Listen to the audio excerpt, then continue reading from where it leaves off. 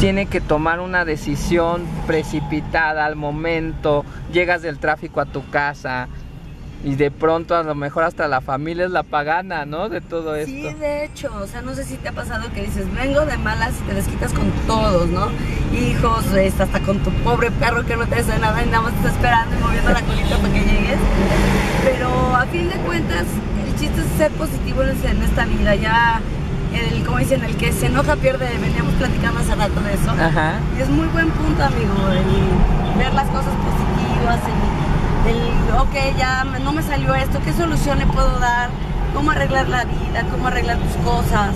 Siempre viendo a, a mejorar cada día.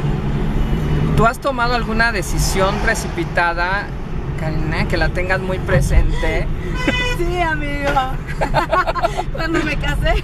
Oh, oye. Estaba muy chamaca. Ajá. No, pues siempre es mejor pensar las cosas dos veces. Mira, créeme que después de esa ya dices, a ver, no, no, no, pon los pies en la tierra, ves sus pros, ves sus contras, ¿qué me conviene más? Ahora sí que muchas veces, a lo mejor es bueno a veces dar tus, tus arrancadas y decir, órale, voy a agarrar esto, voy a hacer esto, por, porque te lata, pero cuando sientes dudas es mejor esperar y ver a qué te va llevando la, las cosas, ¿no? Entonces tomas la, decisión y dices, órale, va.